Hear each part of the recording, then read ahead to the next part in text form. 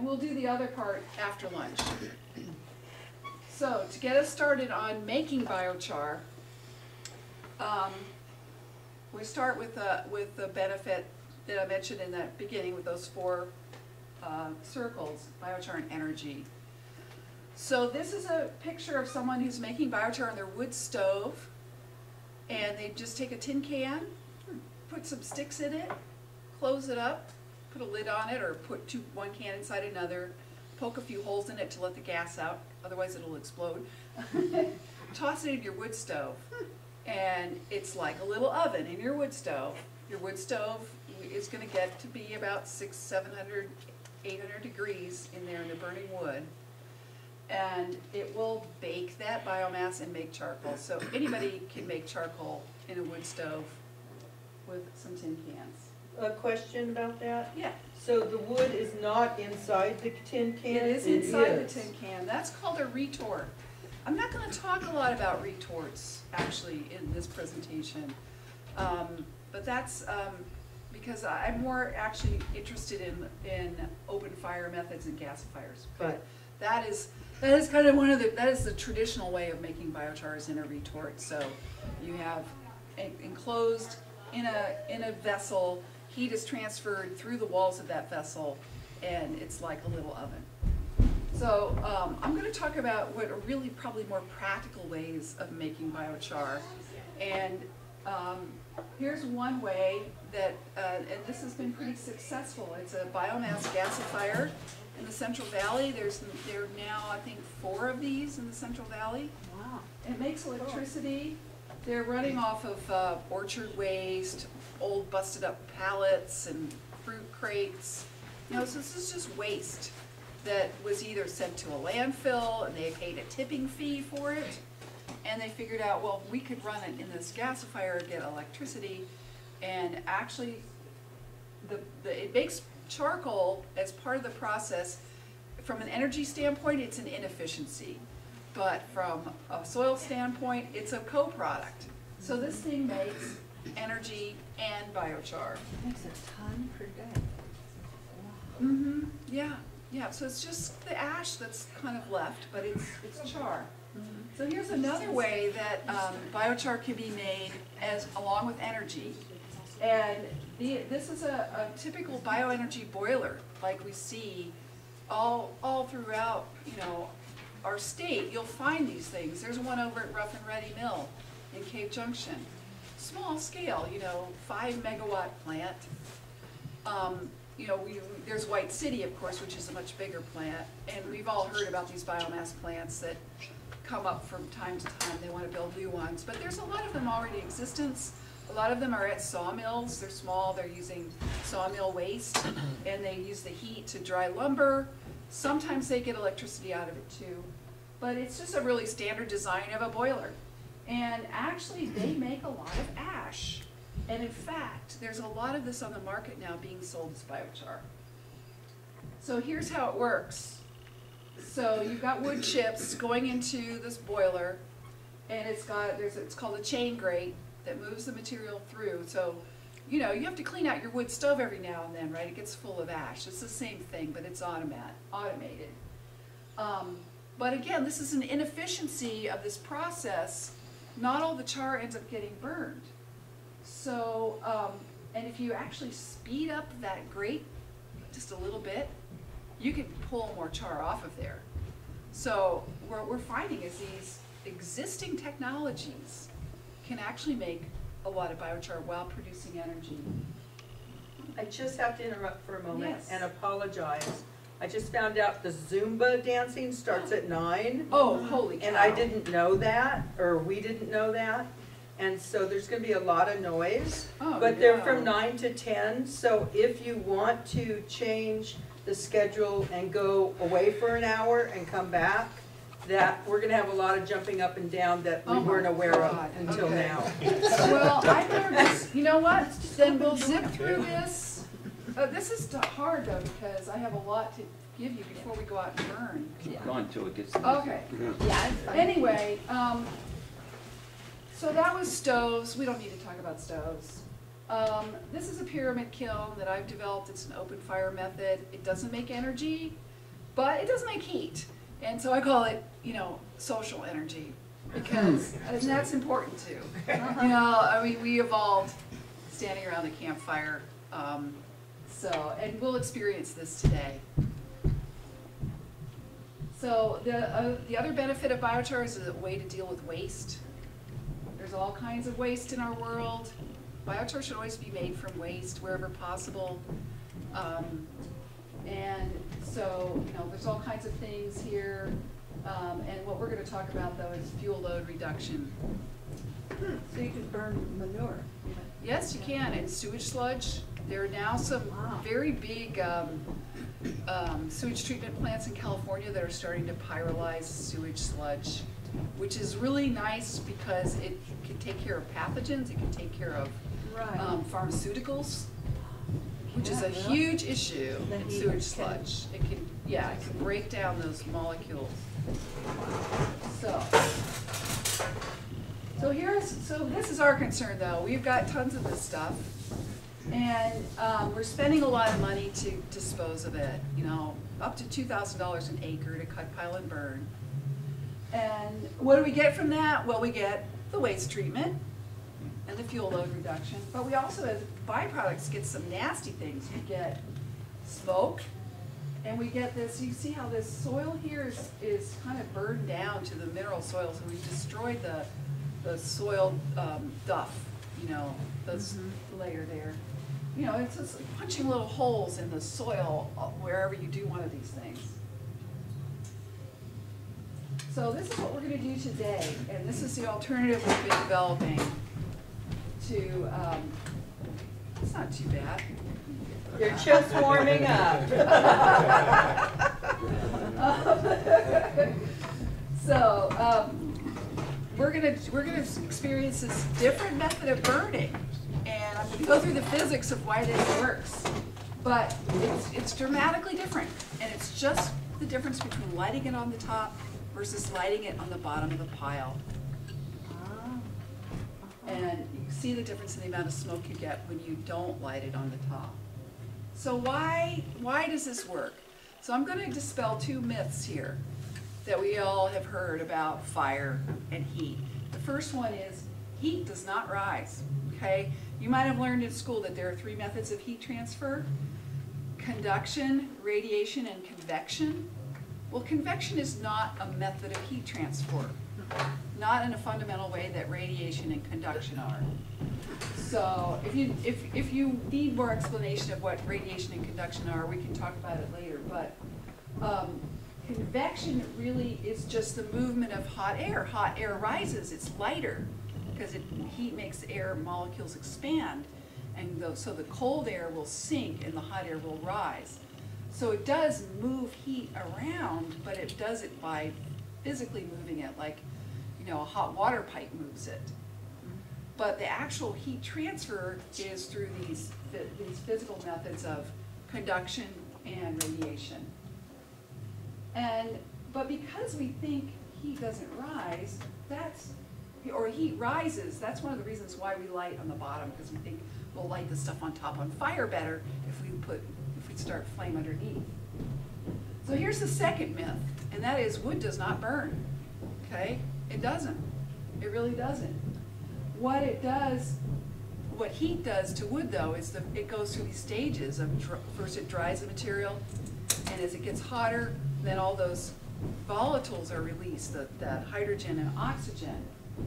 And so the, the match is a perfect example of this, um, because when you strike the match, you have your ignition source, and the wood starts to heat, and the gases rise, and when the gases, there's heat present, and there's gas, the fuel present in the gas, and the, when the, those gases rise and get, can get oxygen, then you get a flame. And so, um, but a couple things happen to make char, because you know when you light a match and you just hold it, it goes out, you end up with a little stick of charcoal, especially a wooden kitchen match.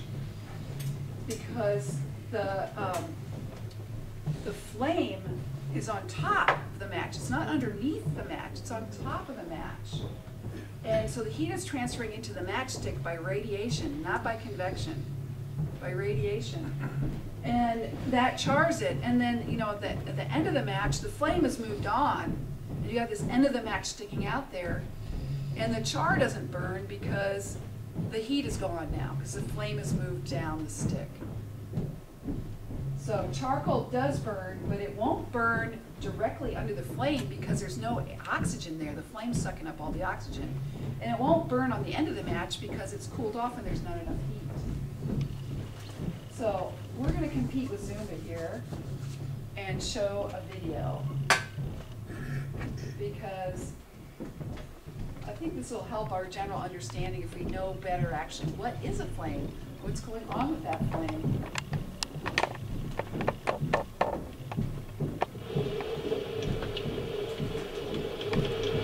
Um, excuse me. Pardon me.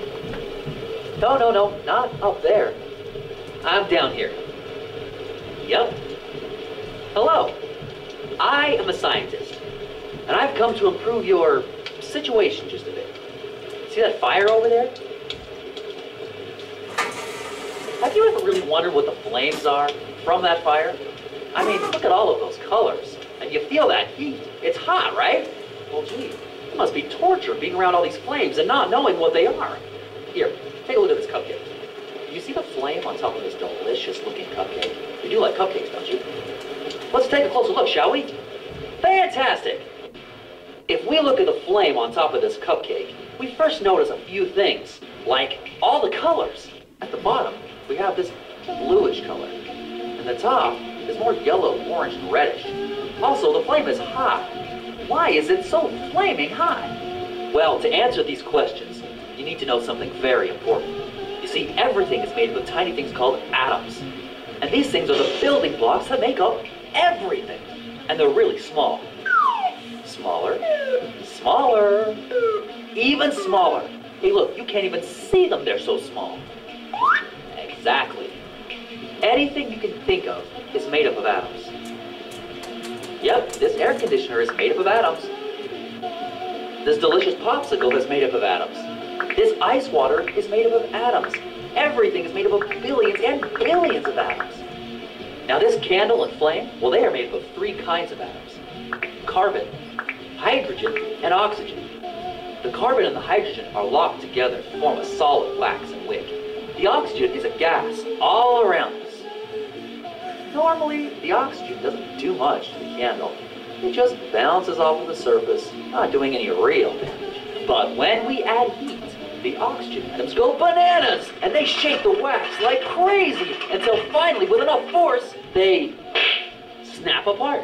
They leave the candle as a gas, where they mix with the oxygen. Uh-oh, I smell trouble. Well, the fancy science word for all of this is pyrolysis. It's the first thing that needs to happen to get a flame. It's when the fuel turns to a gas.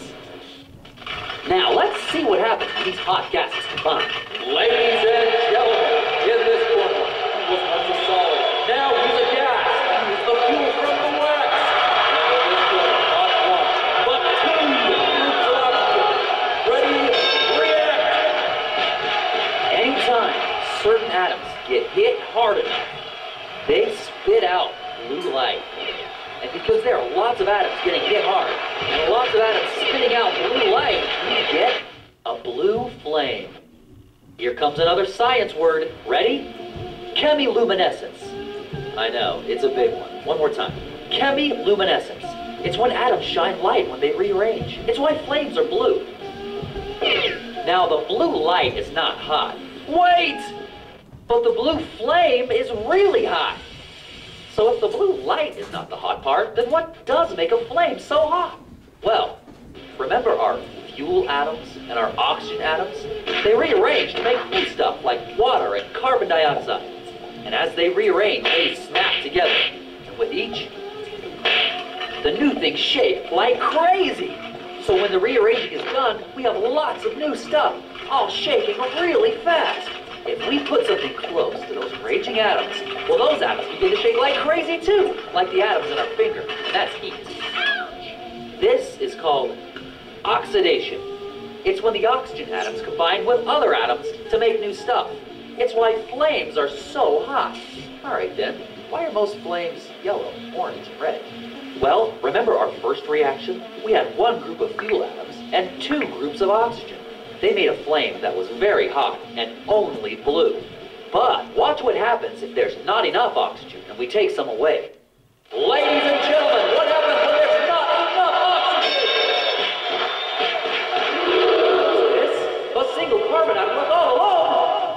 It's okay, because all of us leftover carbon friends come to join and they form large black particles we call soot. Okay, they're not so large. They're so small we can't even see them. But to a single atom, they are enormous. Enormous! I know what you're thinking. How do black particles make yellow flames? Well, let me show you. But first, I need something big and black, like this pitchfork, for example. Excuse me, sir. Your evilness? Could you please place your pitchfork into those scorching flames?